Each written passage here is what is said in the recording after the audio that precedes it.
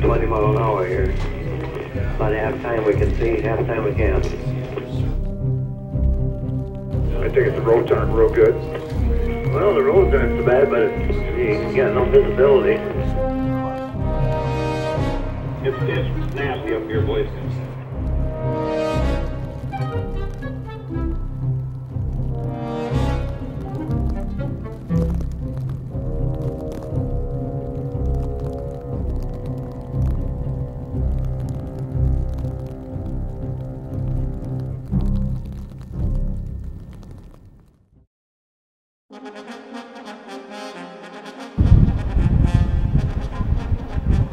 This happens to be one of the worst storms that uh, we've ever encountered.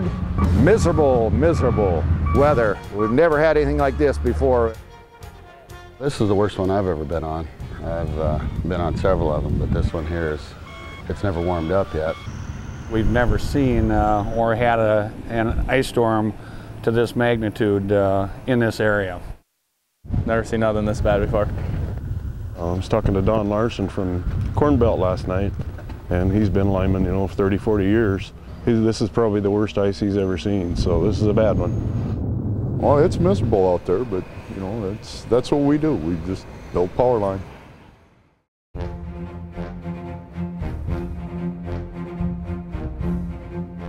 We've kind of went through a little bit of everything out here between we started out raining and it turned to ice and then it turned to snow.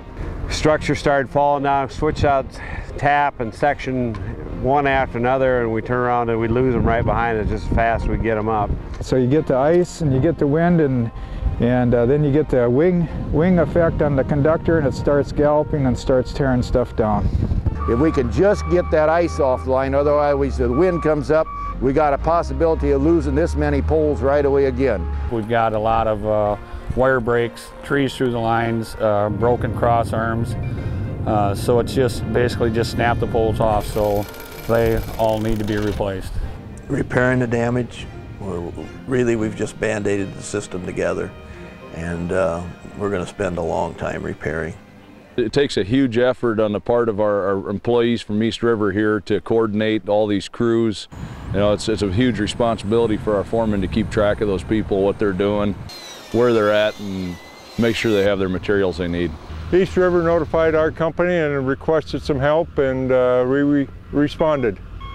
Uh, we sent uh, a digger truck, a high reach, a dump truck, and a pull trailer with uh, two pickups and a Bobcat. We've got uh, NIPCO, we've got uh, CIPCO, we've got WAPA, and we've got our East River crews down here, and then we've got uh, OPPD too came yesterday. I got uh, Corn Belt Power helping us out here, and they have done just a tremendous job for us.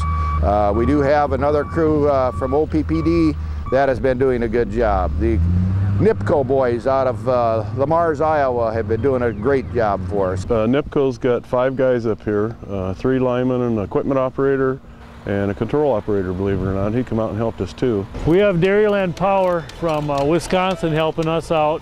Pretty good crew, nine guys, mechanic. Mechanic is unbelievably busy. These cold temperatures is pretty tough on the vehicles, equipment. Hard work, but it's well worth it. It's really cold out one thing they're having to watch for the last couple of days is, is things like frostbite and hypothermia. It's, it's been below zero. Wind chills last night were down there around 23, 24 below zero, and the guys were fighting it and working through it. We're putting in uh, 16 hours a day out in this type of weather, and it's, it's, it takes a toll on you after a few days, and you gotta, you gotta get accustomed to it. Well, one day we went for a 25 hour stretch the one day, but otherwise it's been about 14, 15 hours. There's some crews, they worked 23 hours to get this uh, one town up north of Mitchell on because they was low of water on their water tower and they was concerned about fires. You know, we can't uh, uh, thank the crews from all the power companies enough for what they do. Uh, they work out in uh, tremendous elements. Uh, the, the weather is terrible and they work in a very dangerous job also and we can't give them enough thanks for what they do. Everybody's been treating us great. East River's been good to us and all the local people we've seen are very nice about it. We're very glad that we're here helping. We've had uh, pheasant hunting rights uh, given to us for next year if they can get their power on, you know, or by God, you come to my house, I'll give you the biggest steak you've ever had. They've been, uh, the farmers around here have been very appreciative and very uh, understanding.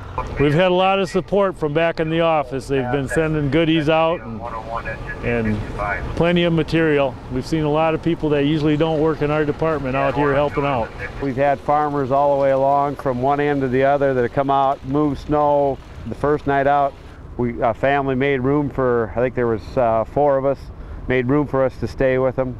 Uh, we went into a restaurant at Tu- uh, Tulare and uh, they, everybody applauded when we came in. We actually had uh, lunch in a Quonset uh, two days ago.